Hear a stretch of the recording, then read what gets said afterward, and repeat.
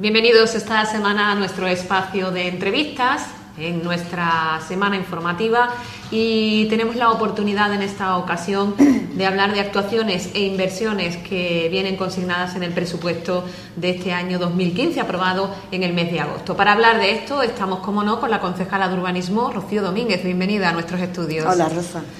Bueno, pues lo dicho, el presupuesto de 2015 llevaba adelante una serie de inversiones importantes, ejecuciones para nuevas infraestructuras para el disfrute de todos los moguereños y moguereñas. ¿Cuánto es el montante económico de ese presupuesto que va dirigido a la mejora y también a, nuevas infraestructuras que vamos a tener en unos meses? Pues estamos hablando de un plan de inversión de mm, un millón y medio de euros que destinado a obras pues es aproximadamente unos 800.000 euros, una cantidad súper importante y creo que, va a repercutir en, el bienestar de los ciudadanos y ciudadanas porque eh, van destinados para eh, oficinas municipales o almacén municipal o eh, una serie de mm, necesidades que tiene nuestro pueblo, como es una pista deportiva eh, junto al Colegio Pedro Alonso Niño, que verdaderamente se nos quedó en la anterior legislatura en el tintero y vamos a hacer eh, que sea una realidad esas necesidades urgentes y, además que, yo creo que, la ciudadanía está esperando con los brazos abiertos. Bueno, ese presupuesto en el que viene incluido ese plan de inversiones se aprobaba en agosto, pero claro, todo lleva una burocracia. Hasta hace poco no estaba aprobado en firme ese presupuesto. De todas esas nuevas infraestructuras han empezado ya algunas de esas actuaciones. ¿Cuáles son, Rocío? Enuméralas porque vamos luego a, luego pues, analizar cada una de ellas. Las primeras obras que vamos a, ejecutar o que ya han empezado han, sido las del Colegio Pedrito. En el Colegio Pedrito, en el antiguo Colegio Pedrito, pues mm, van a ir ubicadas las sedes de la Policía Local, donde empezaron el lunes eh, unas obras que, que va a hacer una empresa mogreña y que eh, está dando respuesta también al ciudadano, como comentaba anteriormente, porque actualmente en el ayuntamiento, en, las instalaciones del ayuntamiento, los servicios que presta, pues eh, los trabajadores y trabajadoras se lo ven un poco eh, mm, con unas circunstancias bastante difíciles para poder prestar esos servicios que, que la ciudadanía pues requiere, ¿no? Eh, estamos hablando de la policía local, donde actualmente todos los moguereños y moguereñas eh, saben dónde están ubicados y, la necesidad de, esos servicios, pues la verdad que, era urgente. En este caso, pues estamos hablando del Colegio Pedrito, donde la parte que da a la calle Castillo, pues van a ser habilitadas para que la policía local eh, pues meta tanto la flota de, de coche que, con la que dispone como nuevas oficinas, aseo, vestuario, eh, unos servicios mm, dignos y, además necesarios para, para, todos los moguereños y moguereñas, para el servicio que prestan estos compañeros y sobre todo un servicio municipal que es súper importante para...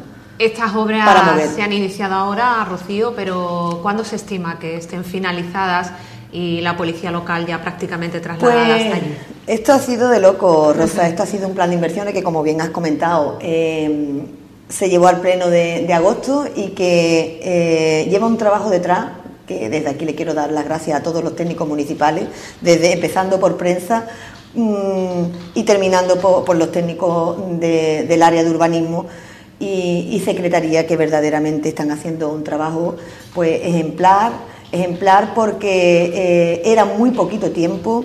Eh, hay un protocolo de actuación que, que hay que cumplir sí o sí porque somos administración y verdaderamente lleva un trabajo humano detrás que, sin ese trabajo pues evidentemente no sería una realidad.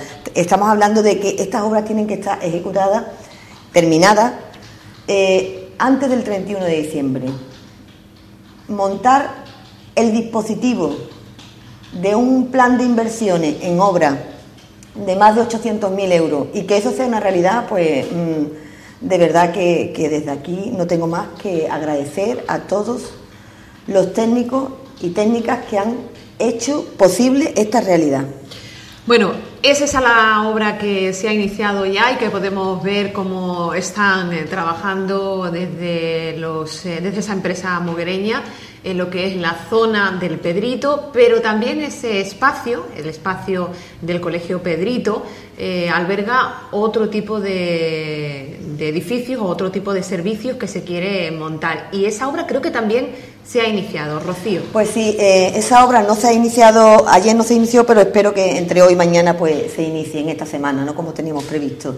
Eh, también es otra de las obras que, creo interesante y que mm, también van a repercutir directamente en el servicio que presta el ayuntamiento a través del colegio de adultos, que es competencia del mantenimiento y... Ese centro de adultos estaba en la, en la calle Santo, Domingo. Santo Domingo y actualmente eh, esperemos que para, para, el próximo curso escolar pues eh, podamos disponer de este colegio de adultos eh, por la calle San Francisco. Entonces, para, para que le quede claro a todo, le quede claro a todos los vecinos y vecinas, el antiguo Pedrito va a quedar la mitad del colegio para la policía local y la otra mitad para el colegio de adultos. La policía local entrará por, el, por la calle Castillo y el colegio de adultos entrará por la calle San Francisco. Además, también vamos a, ubicar en estas instalaciones a, dos talleres municipales, como es en de Bolillo y, el taller de pintura que, podrán dar el servicio que actualmente se está dando en unas instalaciones pues tota-, totalmente renovadas y con otra imagen y otra calidad en el servicio que, se presta para llevar, el ayuntamiento.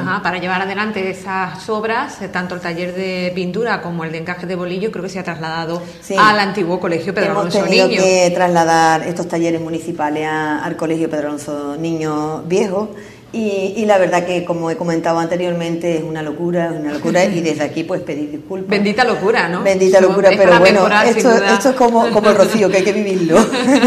es una locura, pero bueno, yo desde aquí pues darle las gracias a todas, y sobre todo pedirle disculpas ¿no? a, esos talleres, en este caso, eh, taller de pintura y taller de, de encaje de bolillo que, que, hemos tenido que trasladar urgentemente para, para otras instalaciones municipales. ¿Qué otra obra eh, se ha iniciado, Rocío, en estos momentos? Otra de las obras que creo que en este caso Diego Ropero pues está encantado es eh, la ampliación del archivo histórico. El archivo histórico es eh, algo tan importante para, nuestro ayuntamiento y sobre todo para el servicio que presta, eh, que no es directo a la ciudadanía, pero sí que es verdad que, es una petición que viene pedida mm, desde el responsable del archivo histórico, Diego Ropero, desde hace más de ocho años y, él pues está encantado en que el Ayuntamiento de Mogué pues haya escuchado, en este caso nuestro alcalde, ¿no? que tiene eh, clarísimo que eh, tenemos que invertir para dar mejor servicio, en este caso es un servicio que no es directo,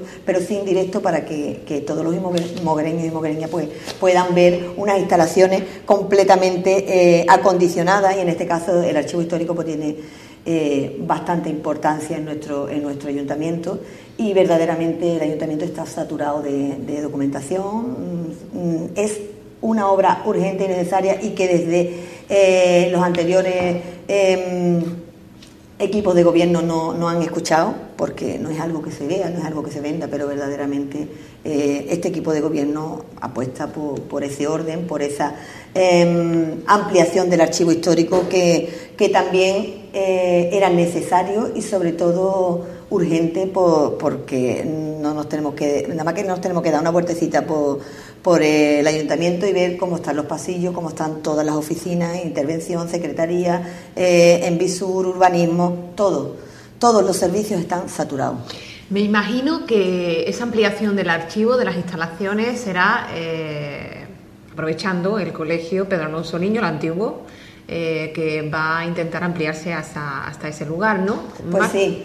Eh, esa ampliación consiste en, el soportar de, allí del archivo, pues conectar con el edificio para que todos los, vecinos y vecinas sepan de qué edificio estamos hablando, del colegio Pedro Alonso Niño, en la parte de las pistas había una zona donde, por último, eh, utilizaba el colegio como comedor. Esa zona es la que eh, se va a ampliar y va a ser parte de nuestro archivo histórico.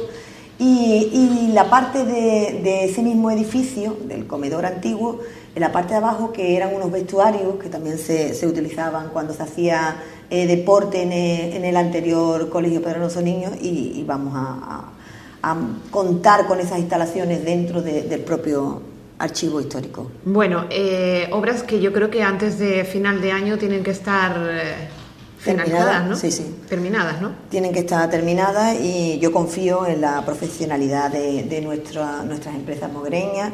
Decir, que, hasta ahora todas las empresas que, van a participar en este van a participar en este plan de inversiones son empresas de Moguer con trabajadores de Moguer y, lo que tenía claro eh, nuestro alcalde pues es que este plan de inversiones tenía que disfrutarlo Moguer al 100% tanto en su eh, eh, empresas como esos trabajadores que, que, van a, ejecutar estas obras. Bueno, eh, eh, tenemos estas tres obras iniciadas. Estamos hablando de esa actuación en el Colegio Pedrito, con la Policía Local y el Centro de Adultos de nuestra localidad y la ampliación del archivo. Pero ¿qué otras obras están pendientes aún de iniciarse dentro de ese plan de inversiones? Pues hoy tenemos la apertura del sobre de, de la calle Ancla de Mazagón eh, tenemos también eh, la apertura de sobre de, mm, del césped artificial del, colegio, del, del polideportivo. Eh, son mm, procedimientos más largos porque la cuantía es distinta y el procedimiento pues más largo de, montar y evidentemente tiene que cumplir al 100% la, normativa vigente. Estamos pendientes también de la pista deportiva que he comentado anteriormente, que, que yo creo que todo todos y todas podéis ver cada vez que pasáis por, por Andaluz Universal, eh, mm, que está junto al Colegio Nuevo Pedro Alonso Niño, es algo que, verdaderamente lo está pidiendo a voces. Ahí cada vez que llueve se forman unos charcos, entonces vamos a, a, decentar toda aquella parte eh, de manera que se puedan eh, se pueda disfrutar de una pista deportiva donde vamos a poner una canasta de baloncesto y, además una portería para que los niños y niñas pues, puedan jugar al fútbol de manera digna.